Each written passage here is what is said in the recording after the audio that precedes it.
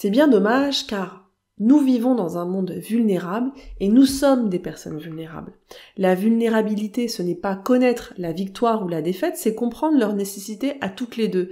C'est comprendre la réalité.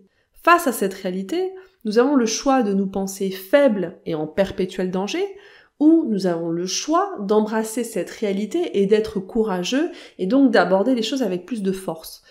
L'équilibre entre le positif et le négatif de la vie ce 50-50 fait partie de l'expérience humaine. Le contraste des émotions rend possible l'appréciation de toute émotion positive. Et c'est ce qui nous rend forts et vulnérables à la fois. Mais c'est surtout ce qui nous rend humains. Hey, bienvenue dans le podcast Être audacieuse. Je suis Tiffany, coach de vie pour les femmes indépendantes et entrepreneurs.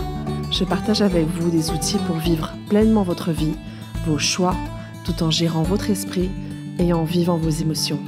Allez, on embarque Bonjour à tous et bienvenue dans ce nouvel épisode. Aujourd'hui, nous allons parler des émotions qui sont utiles pour entreprendre.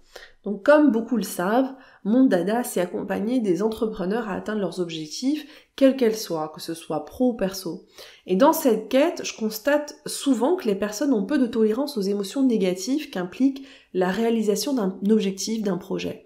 Et c'est normal, parce que la plupart d'entre nous, nous avons grandi avec cette quête du confort constant, et personne nous a enseigné que les émotions négatives bah, peuvent être utiles, et on ne nous enseigne pas non plus à les traverser.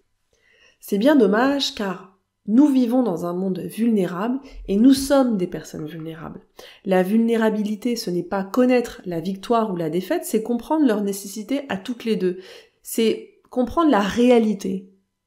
Face à cette réalité, nous avons le choix de nous penser faibles et en perpétuel danger, ou nous avons le choix d'embrasser cette réalité et d'être courageux et donc d'aborder les choses avec plus de force.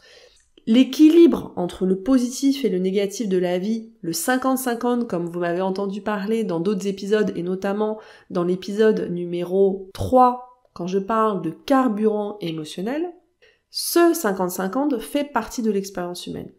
Le contraste des émotions rend possible l'appréciation de toute émotion positive. Et c'est ce qui nous rend forts et vulnérables à la fois. Mais c'est surtout ce qui nous rend humains. Reconnaître cette réalité, que l'expérience humaine est supposée être un équilibre entre le négatif et le positif, vous offre l'opportunité de l'utiliser comme un atout pour entreprendre. Car quand on reconnaît que nos expériences se composent de 50% d'émotions positives et 50% d'émotions négatives, nous pouvons baisser notre garde et arrêter d'avoir peur du côté négatif des choses quelque part. Quand on accepte que toute chose qu'on entreprend vient avec cet équilibre, on se tient prêt à accueillir le négatif sans créer une surcharge de négatif à propos du négatif. Parce qu'en règle générale, on a tendance à créer un drame sur tout ce qui est négatif dans notre vie. On a zéro tolérance. Et l'équilibre émotionnel, c'est complètement un atout pour entreprendre parce que ça veut dire que vous allez vous focaliser sur la résolution. Vous allez agir au lieu de subir vos émotions et vos situations négatives. Donc au lieu de dépenser de l'énergie à vous dire bah, qu'il y a un problème, que ça ne fonctionne pas comme vous voudriez, bah, vous allez plutôt analyser les données des situations pour tester des solutions et continuer à avancer. Et dans le cas, par exemple, où vous travaillez avec des collaborateurs ou des personnes, Intégrer cette notion d'équilibre émotionnel vous prédispose à agir d'une façon plus raisonnée pour être résolutif au lieu de réagir face aux situations. Et ça me paraissait important de démarrer cet épisode en relevant et en faisant une petite piqûre de rappel sur l'équilibre émotionnel, parce qu'une problématique de notre société est qu'on vous dit d'un côté que votre état d'esprit définit l'expérience que vous allez vivre face aux situations, et de l'autre côté, on a une société qui prône le positif et on vous dit qu'il faut avoir des pensées positives. Sauf qu'il y a une confusion. Oui, face à toutes les situations de la vie, vous avez la possibilité de choisir une pensée plus utile pour traverser les situations avec plus de légèreté. Et d'ailleurs, c'est le cœur de mon travail où je travaille sur l'état d'esprit et sur les pensées qui sont génératrices de nos émotions avec mes clients. Mais ça ne veut pas dire qu'on va tout le temps choisir d'avoir une pensée positive pour résoudre les situations. On va plutôt choisir un état d'esprit résolutif et souvent vous allez m'entendre dire euh, de, choisir une pensée utile. Parce que finalement cette quête du positif, bah, d'une, c'est une course complètement perdu d'avance et d'autre part, on ne réalise pas qu'avec ce fonctionnement, on a causé plus de mal qu'autre chose car maintenant, on se retrouve avec des personnes qui se sentent mal de se sentir mal quelque part. On crée un conflit avec son état négatif, on l'interprète comme quelque chose qui ne va pas dès que ça ne fonctionne pas comme on l'avait prévu et on finit par créer un problème. Donc on se retrouve avec des personnes qui ne savent plus comment digérer leur état négatif et même qui abandonnent face à l'inconfort des émotions négatives. Or, vos émotions négatives sont aussi un moteur d'action pour toujours continuer à entreprendre et à avancer vers vos objectifs. En conséquence, je vais vous inviter à considérer les émotions positives et négatives comme une monnaie d'échange sur laquelle vous pouvez tirer profit pour obtenir ce que vous voulez. Et la première émotion à pratiquer est celle de l'inconfort. Et si vous avez écouté plusieurs de mes épisodes, c'est une notion qui revient très souvent, je parle très souvent d'inconfort, parce que c'est l'inconfort à vivre vos émotions négatives. Parce que sentir une vibration dans son corps, c'est pas dramatique. On va pas tomber dans un trou noir où on va plus pouvoir ressortir quand on ressent nos émotions négatives. Mais ça veut pas dire non plus que c'est confortable. Et si autant de gens évitent de sentir leurs émotions négatives, ou procrastinent, ou euh, font tampon avec la nourriture, l'alcool ou euh, des substances externes, bah, c'est parce qu'une émotion négative, c'est désagréable. Et d'ailleurs, certaines personnes peuvent même avoir des symptômes physiques, comme des nausées, lorsqu'ils traversent leurs émotions négatives. Pour cette raison, on vit dans un monde qui a très peu de tolérance aux émotions négatives et pourtant l'acceptation de cet inconfort est un outil primordial pour reprendre de l'autorité sur ses émotions négatives et gérer un bon stress. Parce que quand on surcharge nos émotions négatives de jugements négatifs, on crée un stress supplémentaire qui n'est pas utile pour notre fonctionnement.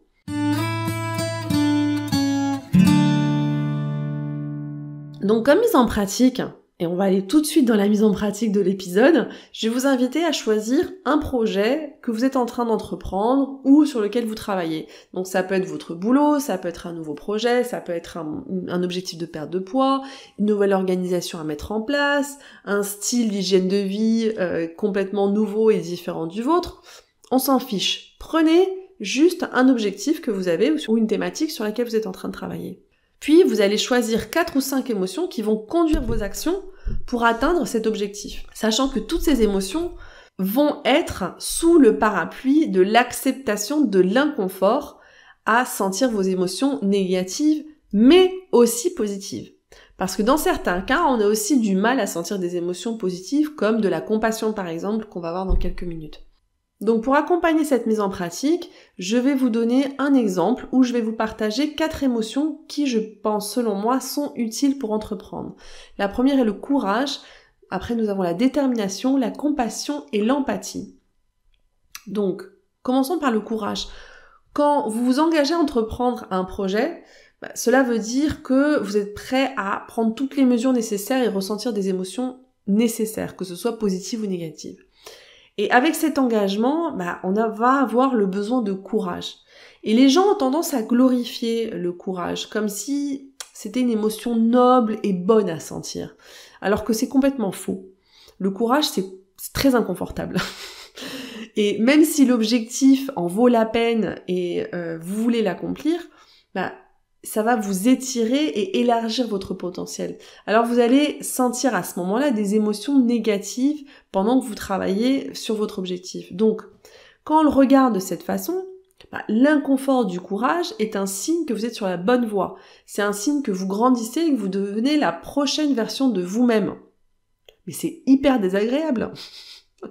Pour entreprendre, il faut avoir le courage, par exemple, d'être imparfait et le courage d'échouer pour se relever. En ayant le courage d'inviter l'échec constructif dans vos projets, vous vous donnez l'opportunité de ressentir. Et je fais une petite parenthèse en vous invitant à écouter l'épisode numéro 16 où je vous explique comment bien échouer. Donc je vais pas m'étendre ici, mais bien échouer rapidement signifie ne pas abandonner ou trouver des excuses face à ces émotions négatives. Donc ça veut dire c'est tomber, se lever, tomber à nouveau et continuer à se lever. Et tout ça, ça requiert beaucoup de courage. Et pour info, c'est impossible de gagner si vous n'échouez jamais dans tout ce que vous entreprenez. Parce que l'échec, ça va être un nouveau point de départ et c'est lui qui va vous donner des données pour ajuster et continuer à toujours euh, soit être la version de la personne que vous voulez être, ou soit à toujours ajuster le projet en fonction de la vision que vous avez. L'autre émotion que je vous inviter à tester, c'est la détermination. La détermination, ça fait aussi partie de ces émotions négatives utiles, comme le courage. Être déterminé, ça veut dire agir quand on n'a pas forcément envie. Ça implique aussi continuer au moment où c'est difficile. Écrire, par exemple, lorsqu'on pense ne pas avoir d'inspiration. Honorer son agenda quand on veut faire autre chose. Faire des recherches et étudier lorsqu'on veut peut-être tout de suite passer à l'action et on veut pas, pas perdre de temps à chercher plus d'informations. Donc, c'est ne pas abandonner malgré les obstacles jusqu'à atteindre ses objectifs. Une autre émotion intéressante, c'est la compassion. Et ça, c'est le type d'émotion positive que beaucoup de gens ont du mal à mettre en pratique et parfois même par rapport à leur culture. Donc, pourtant, lorsqu'on s'expose à l'inconfort de traverser ces émotions négatives, il faut être là pour prendre soin de soi, se parler d'une façon aimable et s'accompagner. Parce que comme je vous disais il y a quelques minutes, sentir ces émotions négatives, c'est pas dramatique, mais c'est quand même assez désagréable. C'est pas forcément le top, c'est pas le rendez-vous de vendredi soir qui est hyper sexy. Avoir de la compassion, c'est aussi reconnaître ses jugements pour ce qu'ils sont, sans pour autant les croire et les suivre sans les remettre en question. Selon la culture dans laquelle vous avez grandi, avoir de la compassion pour soi-même peut paraître difficile à mettre en place et même parfois euh, ça peut paraître être inatteignable. Pour toutes ces personnes qui ne se sentent pas autorisées à penser à soi avant les autres, je veux vous dire que pratiquer l'amour et l'écoute de soi, c'est un pilier fondamental pour être disponible pour les autres. Parce qu'on a tendance à penser qu'il faut toujours mettre les autres avant soi.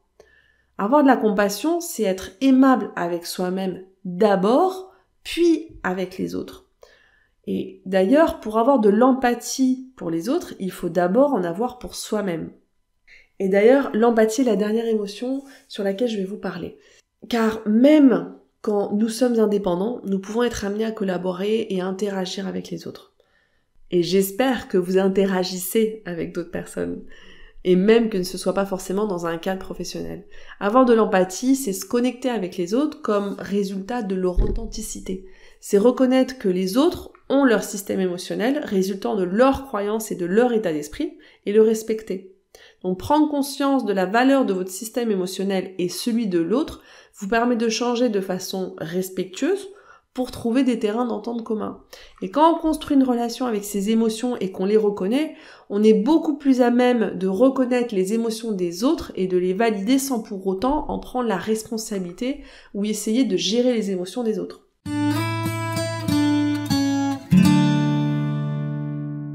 Donc voici quatre émotions que je vous propose de tester, mais ce que je vous invite surtout à faire, c'est de vous poser la question quelles émotions vont être utiles pour atteindre l'objectif sur lequel vous êtes en train de travailler? Est-ce que c'est l'inconfort, le courage, la détermination, la compassion, l'empathie? Ou est-ce que ça va plutôt être euh, de la curiosité, par exemple?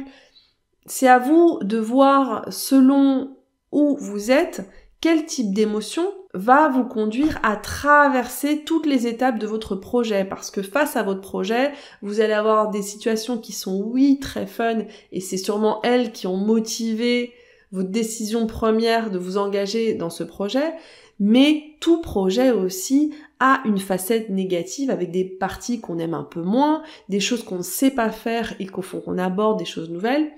Et on peut ressentir une gêne et de l'inconfort. Donc pour terminer cet épisode, je vous laisser en vous disant que se fixer un objectif et prendre des mesures pour l'atteindre, ça n'équivaut pas à beaucoup d'actions et de stress et d'épuisement mental et même du travail supplémentaire. Ça veut plutôt dire que vous allez faire face à un travail qui vous, qui vous causera beaucoup d'inconfort émotionnel. Vous allez être obligé à travailler sur vos émotions si vous voulez continuer de ne pas abandonner votre projet. Vous devrez les accueillir, les comprendre et même les inviter. Et, d'ailleurs, souvenez-vous que le pire qui puisse vous arriver est une émotion. Et le mieux qui peut vous arriver dans votre vie est aussi une émotion. Donc si vous êtes prêt à ressentir n'importe laquelle des émotions, bah, tout votre monde va s'ouvrir. Lorsqu'on entreprend, le but, c'est pas seulement d'atteindre son objectif. Vous aurez peut-être des réussites, mais surtout, vous apprendrez tout au long du chemin sur votre projet, mais aussi surtout sur vous-même. Et les deux expériences sont précieuses, la réussite et l'apprentissage. Mais sachez vous focaliser davantage sur l'apprentissage que sur la réussite. Car la ligne d'arrivée, certes, c'est un endroit qui est sympa où atterrir momentanément. Par contre, vous n'y resterez pas trop longtemps car la vie, elle bouge et elle continue et les choses ne sont jamais complètement acquises et nous cherchons toujours les outils pour continuer à atteindre et alimenter de nouveaux objectifs. C'est, le même de notre espèce humaine. Donc, si vous apprenez à ressentir vos émotions négatives pour entreprendre, vous n'aurez plus de limites pour vos objectifs et vous serez là pour vous accompagner. On se parle au prochain épisode. Mon podcast vous plaît? Abonnez-vous pour ne manquer aucun épisode. Partagez-le avec vos proches et soutenez-moi en laissant un avis 5 étoiles sur la plateforme que vous utilisez mille merci. Et si vous voulez bénéficier d'un accompagnement, je vous invite à vous rendre sur mon site internet tiffanymaquet.com. Vous pourrez réserver une session gratuite de coaching avec moi, mais vous trouverez aussi l'information sur mon programme pour les femmes entrepreneurs qui veulent lever leurs barrières limitantes pour atteindre leur objectif. Alors à très bientôt